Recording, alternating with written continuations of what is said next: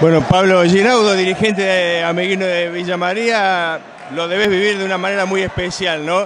A este título tan trabajado, tan este, sufrido como charlábamos también con el Nino Ceruti. Sí, la verdad que es un título muy especial para nosotros, es una gran alegría. Eh, si creo que tenemos un mérito fue el de no bajar los brazos.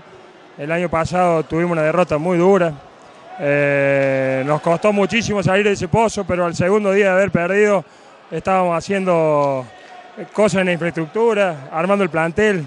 Siempre creímos que podíamos y bueno, gracias a Dios creo que hoy quedó demostrado que somos merecidos campeones.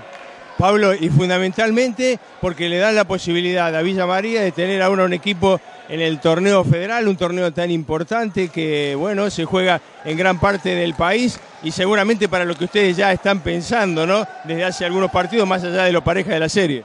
Sí, nosotros venimos pensando ya desde el año pasado que, armamos un equipo con pretensiones, eh, ya habíamos pensado, habíamos hecho vestuario, habíamos hecho, hoy tenemos el problema de las tribunas, vamos a tener que hacer las tribunas.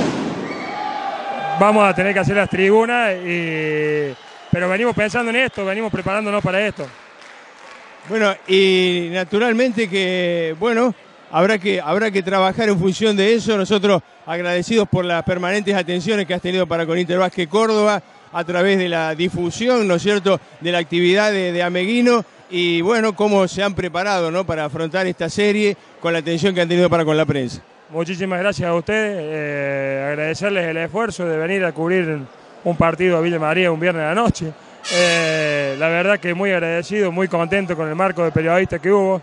Creo que es para destacar el trabajo de Damián Estupenengo, que ha hecho un cambio fundamental en nuestra prensa, porque de la final pasada, que éramos cuatro, hoy había 35 periodistas. Así que gracias a Dios hemos ido mejorando, hemos ido aprendiendo y les agradezco a ustedes el esfuerzo de estar acá. gracias a vos, Pablo, y hasta la próxima. Muchas gracias, Julio. Muchas gracias, Sergio. Gracias.